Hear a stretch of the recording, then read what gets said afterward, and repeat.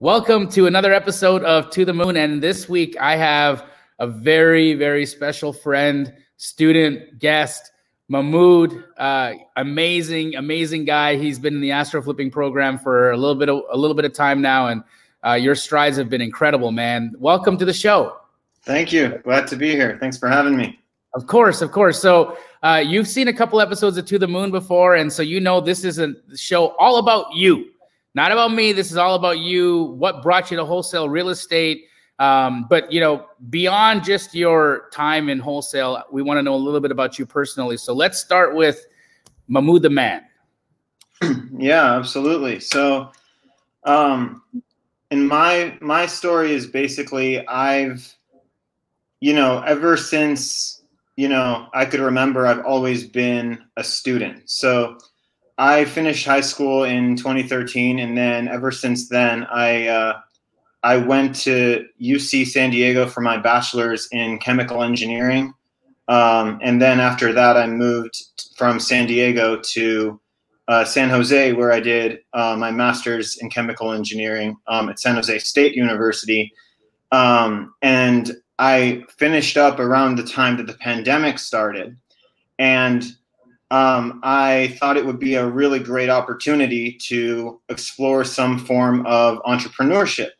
And I had not, no, I wasn't really, you know, um, into the entrepreneurship world.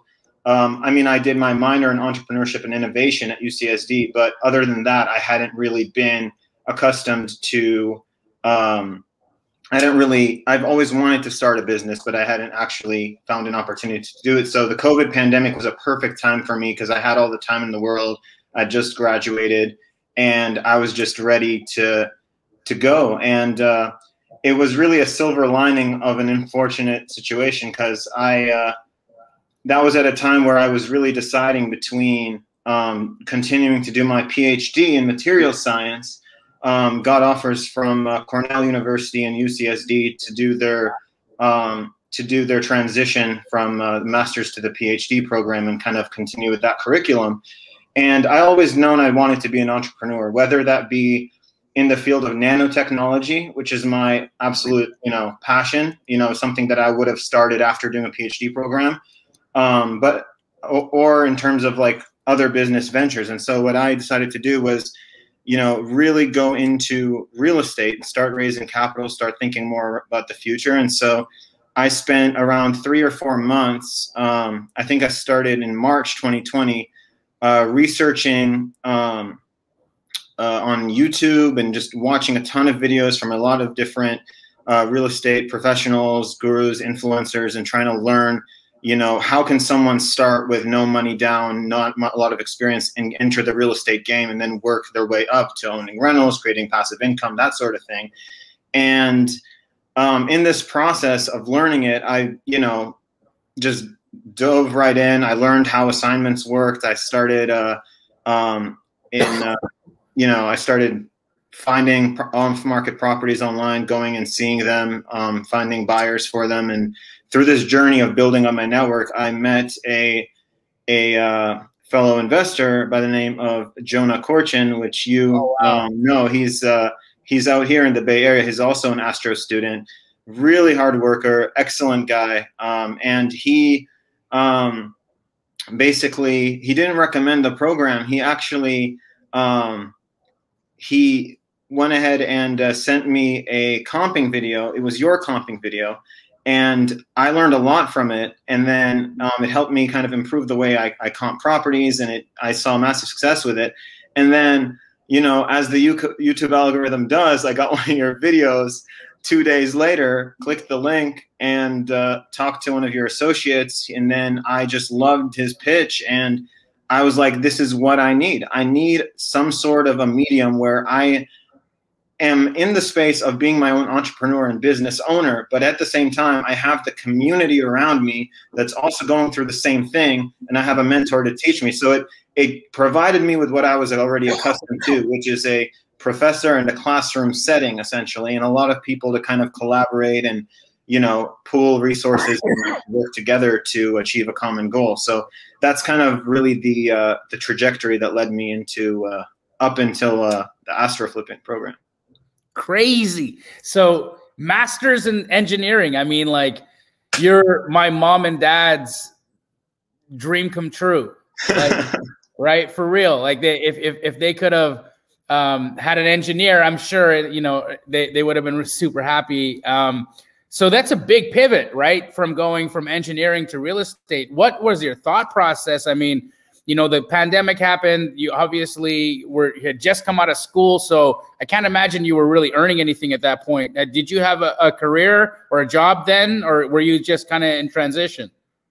I was really in transition. I mean, I had a couple. I had already worked um, engineering jobs while I was doing my master's, and and I liked them and and they were they were cool. But I think really the transition happened when I when I decided that I didn't really want to um, pursue the nine to five engineering kind of lifestyle. I, I, I engineering for me is a passion. I love it. I enjoy doing it, but it doesn't necessarily have to be where I make my income and how I make a living. And so it was really the the point where it clicked for me is when I disassociated the concept of going to school to get a job to make money. I went to school because I wanted to learn. I wanted to obtain knowledge and I wanted to be um, to to be able to have knowledge that allows me to interact with my environment, know what's going on, and it led me to a passion in, in engineering. And I decided that that's a passion, that's something I enjoy, that I can do other things too. You know, I, it, I'm not defined by that. And so the one thing that UCSD, my alma mater, really kind of instilled in me was the well-roundedness of obtaining knowledge. You know, I I developed a passion for for fields such as philosophy, psychology, the arts, sciences, the humanities, and it really made me feel that I am alive to absorb as much information as possible and contribute to my society and my environment and help others as much as I can. And so it just clicked for me that, you know, I want to learn how to essentially the art of making money. And so when I started wholesaling and I got into real estate, I realized that I'm fit for this because I'm an engineer and engineering is not is not based on the science. It's the problem solving um, you know acumen and the skill set that you obtain from for from following the scientific method from forming a hypothesis having an objective you know, doing your some background research, um, you know, doing an experiment, analyzing the data, and then making a decision, and then going back and repeating the cycle and, and learning more. And I found that I could largely apply that to real estate. And so, if anyone's watching who is, has a STEM background, um, science, technology, engineering, mathematics, and you you've been thinking about joint, being a part of the real estate community and becoming a real estate investor, I guarantee there is a place for all of you because this will challenge you and it will provide a space for you to hone and, and satiate your creative um, your creative desires. And it'll it'll definitely uh, provide that satisfaction that's very much parallel to your to your existing fields. It's funny you say that because you know I, I actually have a science background as well I, I did a degree in physiology i didn't go as far as you i don't have a master's degree uh, but definitely you know sciences was where I spent my time when I was in in post secondary education. And organic chemistry, uh, oddly enough, was one of my favorite courses. Right, okay, and great. Those, yeah, it's one of those courses that gives people anxiety. It it makes people you know uh, not sleep at night. It's probably one of the most difficult courses in undergraduate uh, studies in science. Right, uh, OChem one, OChem two, and so I loved it. I loved synthesis. I loved the the process of it. I, I enjoyed, you know, having raw materials and then seeing, you know, what kind of what what chemical reactions can what if I have these two product these two elements and I have this chemical reaction, I add this catalyst, what do I get? And you know, um, that's amazing because it's the same thing for real estate, right? You yeah. have problem property, you have a problem situation, you have people who require uh, inventories so that they can fuel their fix and flip businesses, or you have buy and hold investors, or you have you know people looking for capital protection, whatever their their real estate investment need is.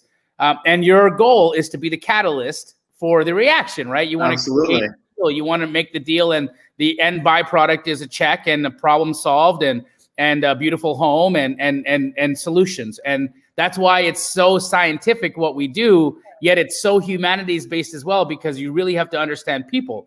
You have to know how to connect with people, build rapport with people, and you've done an amazing job of it. And I can say, Mahmoud, um, something that I've, I truly admire of you watching how you came into the program and interacted with everybody was you know i remember in the early days when you were first trying to wrap your head around things and and you were hitting the first walls right? The first walls that that's a that is a it, bro if you don't if you don't hit that wall you don't deserve the passage through it right? You don't deserve that that next that that first that goal.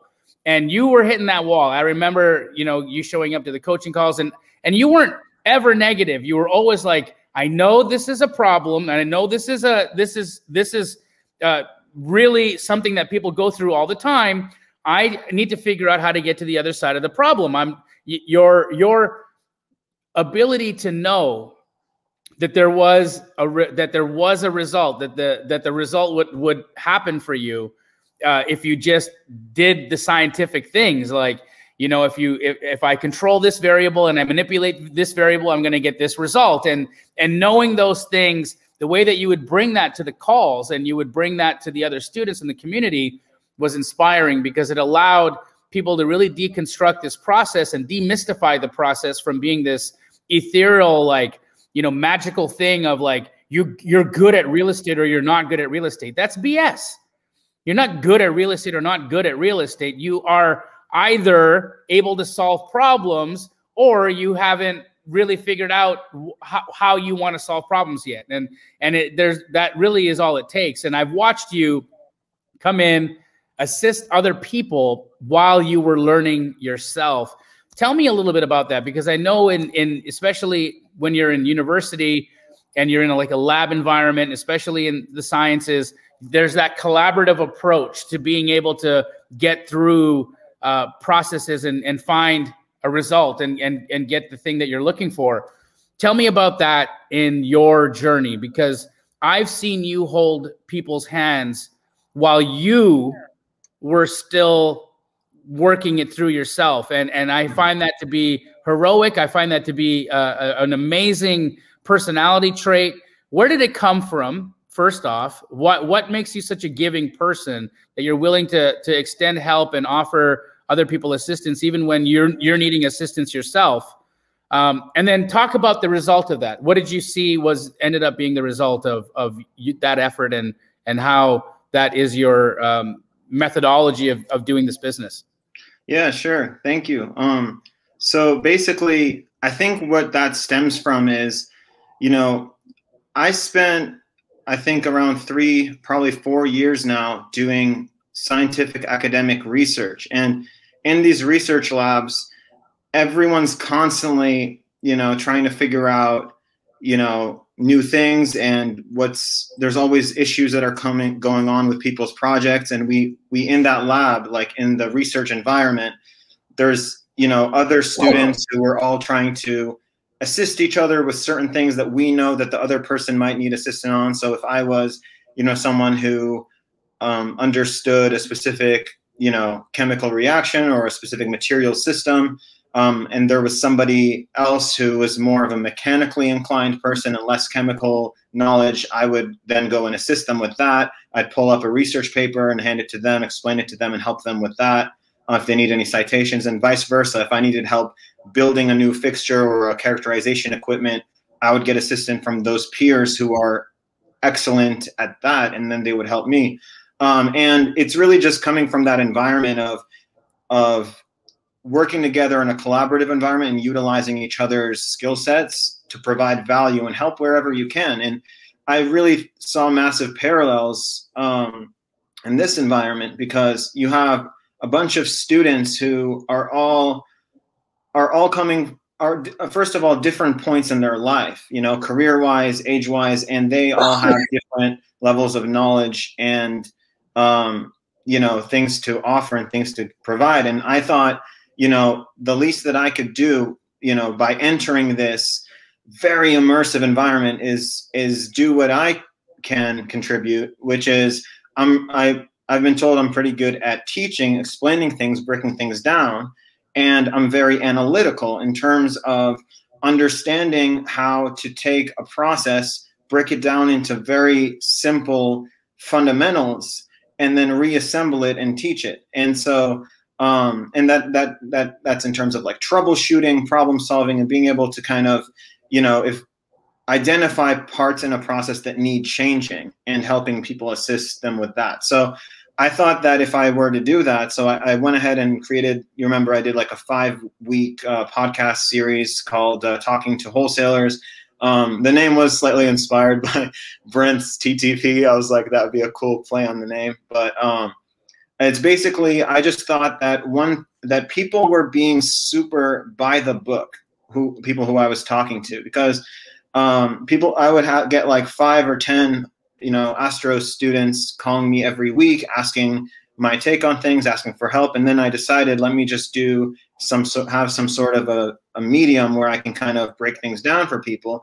And, you know, people just needed to, to learn about the concept of this business is about collaboration. And so it's about talking to other wholesalers, talking to other investors. And, you know, while we do want to take care of our cash buyers, make sure that they're happy, and our, you know, sellers, make sure they're happy, there's certain ways to offer value directly to other wholesalers and in terms of connecting with them. And so I always say the the the phrase, you know, um, I don't care about the deal, I care about the relationship and you know it was just a very fun environment for me to be able to assess people and perpetuate that notion that the industry much needs that that essentially facilitates this collaborative environment um, and then we started removing words like daisy chaining and things that that that provide such a stigma in this industry and we started teaching people how to do correct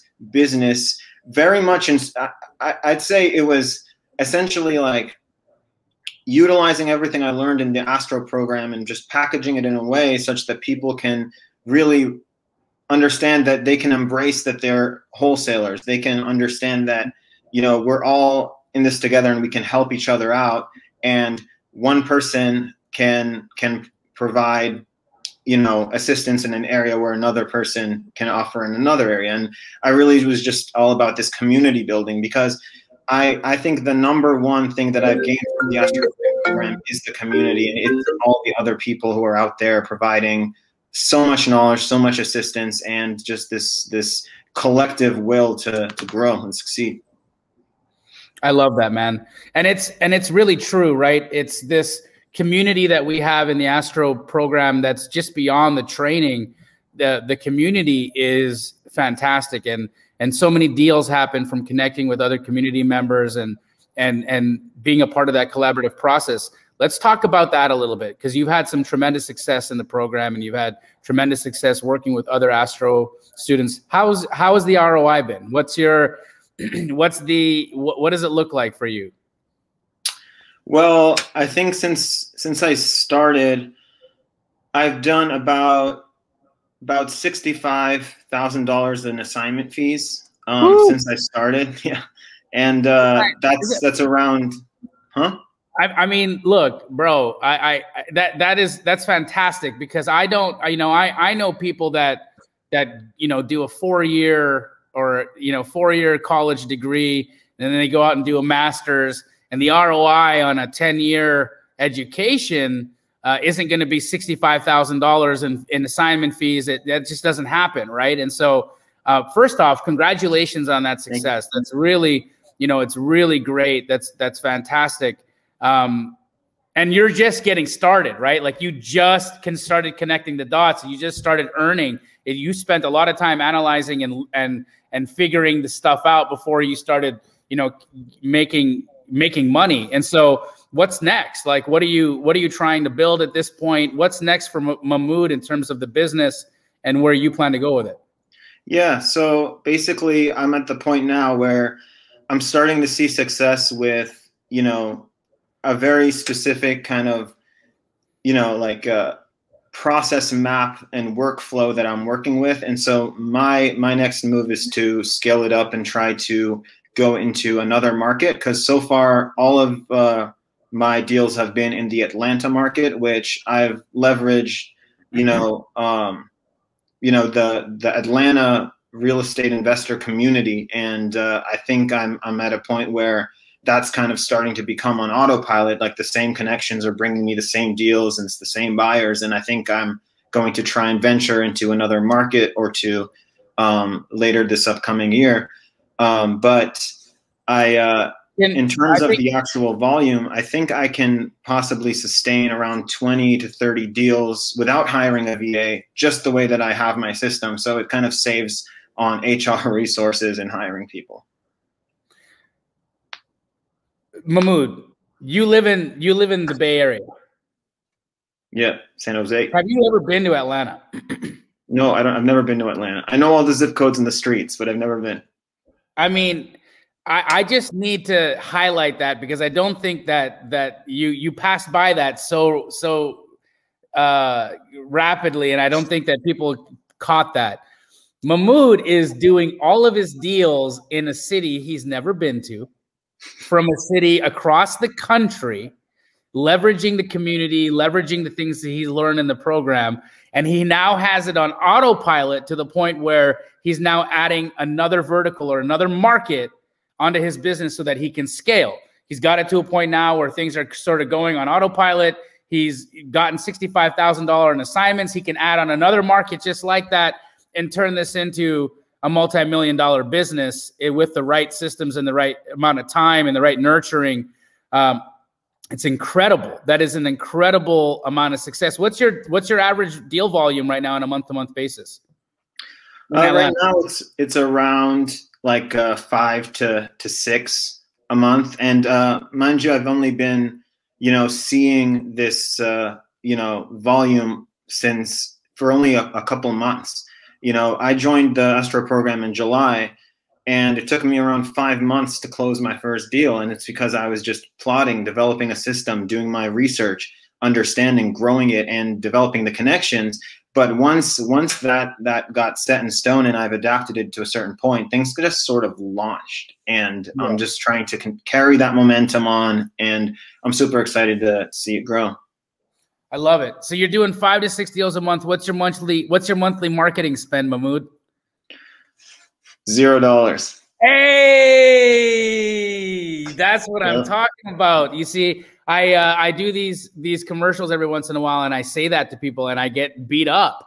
I get beat up sometimes in those comments from people because they're like, "This is absolute trash. There's no chance that this guy's telling the truth." And you know, we we do 60 to 80 transactions in my corporate store at KeyGlee in Phoenix, one of the most competitive real estate markets in the United States. And my marketing spend still is zero dollars and uh, people don't believe it. But here you are, proof in the pudding. You're, you know, you learn the process, you learn the systems, you got it, put it, put it to practice, and you launched, as you put it, um, to the moon. And you're, you're, you're, you're he- headed there. And I, and I, I can't wait for you to set up shop uh, with you know wholesaling deals. Wholesaling deals on the moon is is going to be uh, all it, a very cool thing for you. You'll probably be the the number one wholesaler on the moon at that time. Um, Mahmoud, I'm super proud of you, man. I'm super proud of everything you've accomplished. Uh, this is a tremendous feat. Do you have any any practices that you do daily that allow you to stay as positive as you are? Because I see you, and you you definitely have a really great disposition to you. What's your secret? I think really what I do to kind of stay grounded is I just try to um, well first of all I I work out every morning like even if it's just a 30 minute run or you know just anything to kind of get my body moving get my my body like machine functioning correctly um, get the blood flowing I meditate for even as as small as five minutes um, up to 15 minutes just kind of grounding my mind, gaining some presence, being mindful, and just kind of decelerating my thoughts. Um, I, I try to eat um, super healthy and just uh, have my energy levels at a at a peak performance, peak state throughout the day. Um, but also, I I try and just stay in the moment and just enjoy what I have and become and just appreciate everything and just gratitude is super important to me. And I try to really make it a point be happy right now and not to say I'll be happy after I achieve a certain goal because that's something that's going to be super recursive and it's I'll just be chasing my tail. I'm just you know trying to live in the moment and and take it one day at a time and uh, you know it's it's uh, it's important for us to put our mental health first above everything and feel like I'm at a state where you know I'm just enjoying it every day, day by day. You know, taking it slow. Beautiful, man. How do people find you? How do people get a hold of you? Because there's guys in Atlanta who are going to watch this. They're going to want to do deals with Mahmoud. Uh, where's the next market that you're heading to? Have you have you figured that out? Yeah. So um, right now I'm in in the Atlanta market, and I will be um, hopefully transitioning, um, checking out the Florida markets right now. So I will hopefully be transitioning to um, Orlando, and then uh, maybe moving on to uh, to Tampa and Jacksonville. Um, you know, as, after kind of testing those markets. But you can reach me on Instagram. Um, at my handle is the REI Real Estate Investing, the REI Engineer, um, and my uh, um, I, I linked my um, give Emily my phone number to link the description. It's 858 952 9091. Um, you know, if anyone's in Atlanta and they want to talk about doing business, just shoot me a text um, or give me a ring. Um, and my email is mahmoud at eruditeconnections.com. So, you know, um, don't be a stranger. If anyone wants to, uh, to talk and set some goals, uh, I'm out here and I do this full time. Amazing. Any final bits of advice for those that are just deciding, waiting, struggling, or thinking about the next move for their their financial future or their lives before we we end today? Um, don't get in your own way. Like try and you know if, if you've justified something as being logical, allow yourself to just lean into it, and success will come. Um, and if you're already wholesaling, keep your pipeline moving. You know, if you if you just closed a fifty thousand dollar deal, don't get too excited you know, still put in your time today, your time tomorrow, the time the next day, and you know, just always keep the pipeline filling because it's about 30 days residence time for a deal to close from the point it hits your email box to the point cash the check. So keep them moving every single day, and you'll notice some massive, massive success. And just stay up, be woke, be positive, and yeah, just uh, let's get it, let's get it going. My man. Mahmoud, I, I absolutely adore you. I think you're a fantastic human being. You're an amazing wholesaler. You're a, a, a loving and most welcome addition to this community. You're going to stick around a long time. I, I'm happy to be doing business with you. I, ha- I can't wait to do more business with you in the future. And congratulations, congratulations on all your sex, all your success. To the moon, baby, to the moon. To the moon. Thank you, Jamil.